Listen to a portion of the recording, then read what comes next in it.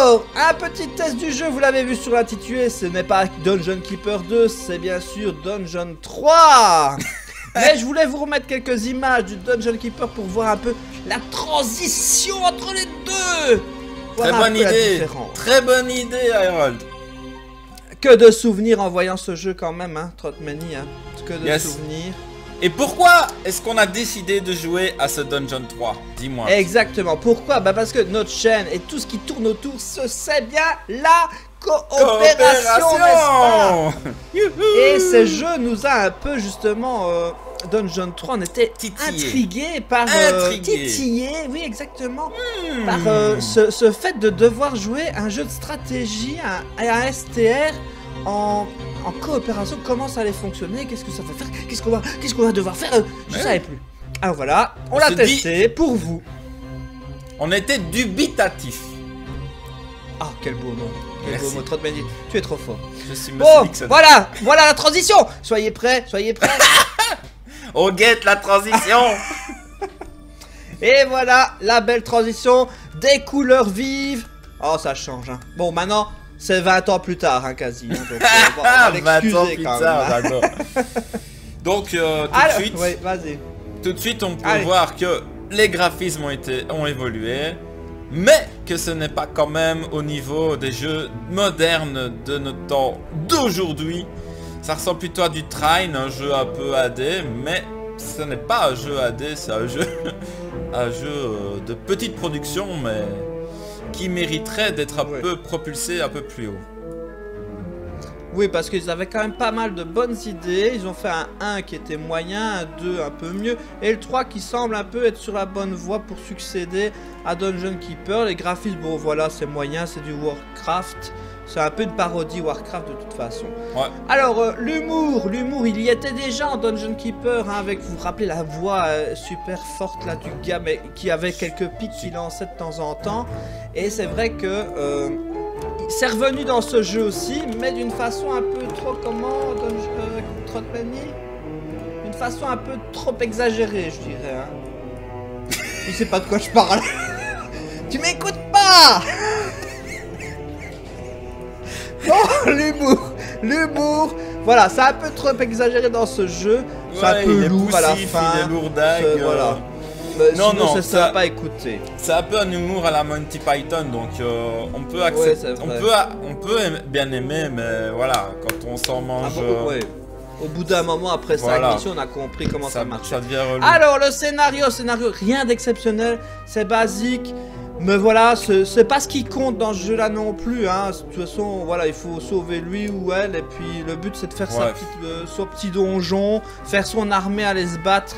Euh, voilà, mais le scénario, c'est vrai qu'il a rien d'exceptionnel. Non, vraiment rien. On n'a pas envie de s'appliquer spécialement dedans. Euh, c'est vraiment une excuse à différentes situations qui ne sont pas non plus vraiment fort différentes les unes des autres. Donc, un des principales, une des principales reproches du jeu, c'est d'être assez répétitif. Exactement, les missions sont assez répétitives. Mais bon, Alors, comme, euh, comme peut l'être World of, Warcraft, je suppose. Non, pas World, à Warcraft. Un Warcraft, oui, les missions se ressemblent dans les jeux comme ça de toute façon.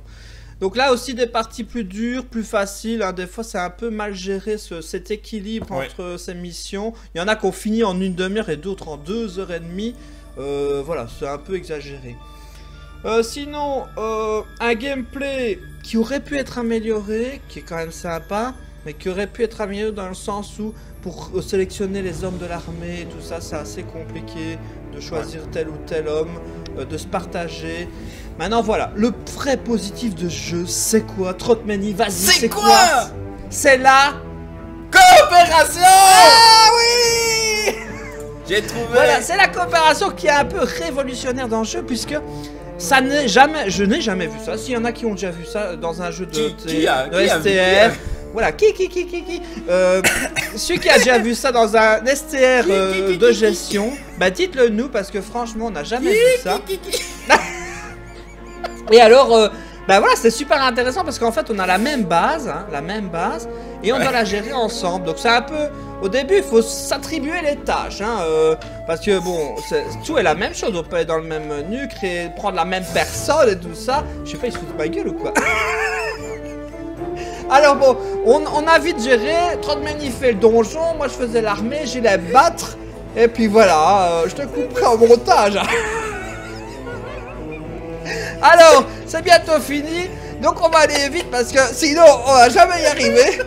Alors, ce qui est aussi révolutionnaire par rapport à Dungeon Keeper, c'est que il y a deux mondes distincts. Vous voyez, à gauche et à droite, là, là, là, là, là, eh ben il y a deux cartes, hein. il y a la carte extérieure et la carte intérieure du donjon.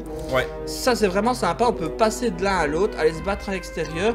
Et ce qui est bien dans la coopération ici, c'est puisque il faut gérer les deux, on se fait attaquer à l'extérieur, enfin on doit aller attaquer à l'extérieur, mais on se fait attaquer à l'intérieur. Donc euh, ça c'est intéressant, euh, voilà, de, euh, s'occupait de l'intérieur et moi de l'extérieur. Ouais, je suis comme une petite femme moi.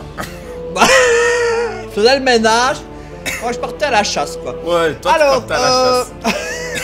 Sinon, la campagne est assez longue, hein, quand même, assez longue, vraiment. Elle est bien costaud, là. Euh, ouais. Donc voilà, franchement, un jeu à essayer qui est pas très cher. Je sais pas trop de minutes. T'as le prix, bien sûr. Hein. Bah oui, t'as fait ton travail, hein. Hein? T'as le prix? Non, non, il a pas le prix, mais je le mettrai dans, dans le truc. Hein. je vais voir. Vite Alors voilà, sinon, on est content de vous aller vous montrer ce jeu. Essayez-le, testez-le si vous voulez découvrir un Dungeon Keeper. Franchement, il est coloré, il est sympa. Il y a des défauts, il n'est pas parfait. Mais... Mais... Ça vaut la peine. Ça vaut la peine. Mais c'est fini. Voilà. Voyez les points. Allez, à bientôt les amis. Merci de nous avoir suivis. Désolé pour Trotmany, il est malade. Allez, ciao